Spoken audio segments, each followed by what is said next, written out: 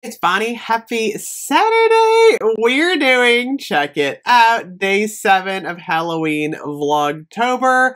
We are going to talk more about the Halloween clock. I gotta say, I love this clock. It is wonderful. Bath & Body Works has got me collecting a clock collection now. So remember we had the Christmas clock from last year. There's a new Christmas clock coming this year for um, the holidays, and you know what? I'm literally I need a I need a fireplace because I just want to line my clocks up along the fireplace. I don't know. I, I need a house with a fireplace because I gotta say I am loving the clock. So if you haven't seen this one yet, this is the Halloween one. Um, it's still available. Check it out. I got my Rocky Horror Remember that version of Vampire Blood? I just decided to put that on there. It's keeping perfect time. It's, um, wait a minute. Maybe it's not. Are we an hour behind? I might have set this wrong. So, setting the clock, um, is not too bad. So, you gotta basically take this face out like this in order to set it. And, um, don't take this part off. I forgot how to do this. You take this part off. That's right. Because um, I almost broke it. Honestly, now there are Roman numerals in here. There's a battery, so I gotta get it together the right way.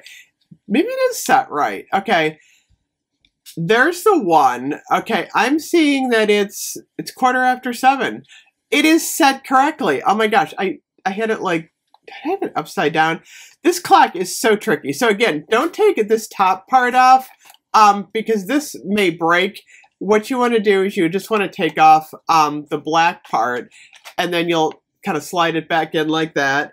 And then the clock part goes in the center. So let me get this right now. So there's midnight. Midnight goes right here. No, it's not right. Look, it's quarter. It says quarter after six. What the heck? I don't even know what I'm doing. Um, this is why it's tricky to set this thing. Okay, so I'm going to move this forward. There's a little dial back here. I'm going to move this to 7, what is it, 716. Okay, and then we're going to see if it keeps correct time now. Okay, now it's correct. It's 7 to 6. Let's try this again. you know what? We're so used to digital now, like my Apple Watch. Um, I'm not used to these kind of clocks. Okay, so we're to put midnight up there. It's now 7.15. I've got the correct time. This thing is heavy. Um, it's got a lot of gold on it. Uh, skull on the back. You know what? If it wasn't for the skulls, I would call this a Christmas clock. I think you could almost put it up for Christmas. And unless someone was really looking closely, um, you'd probably just walk by it and go, that's a beautiful gold clock.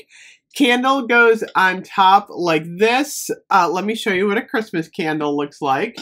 Isn't this beautiful? Look, check it out. This could be totally a Christmas clock. Seriously, I think it looks absolutely gorgeous for Christmas. Um, these are not on sale, unfortunately. This is a heavy piece, by the way, like really heavy. Um, the back looks a little more Halloweenish, but um, it's beautiful. I gotta say, I love it. I don't know. There's just something magical about owning a gold clock. Um, they are pricey. However, hopefully, as Halloween kind of progresses into October, there's a lot of Halloween stuff now for 50% off.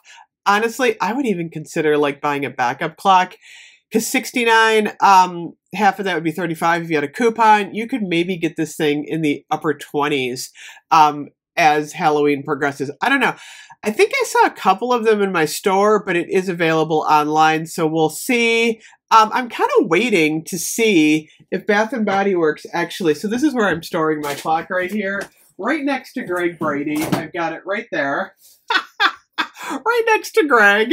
Um, I actually have my vampire uh, candle on my chalice back there. Uh, what candle did I just have on there? I thought I had a candle on there. I'm not sure which one I had. Um, I'm hoping they go on sale. I mean, remember the one year the rotating skull with the thunder showed up later for Halloween? I, I keep thinking maybe something's going to show up at like the very end, although we're already October 7th. It's pretty late in the season. Um, can you believe it? There are what, like 31 minus 7, like 25? No, 20. 24 days until Halloween. Um, I feel like October is going exponentially fast. Uh, Halloween's on a Tuesday this year. Anyway, uh, let me know what you think about the clock. As soon as I can get my hands on that Christmas clock, you will be seeing it right here. I'll see you guys then. Bye bye.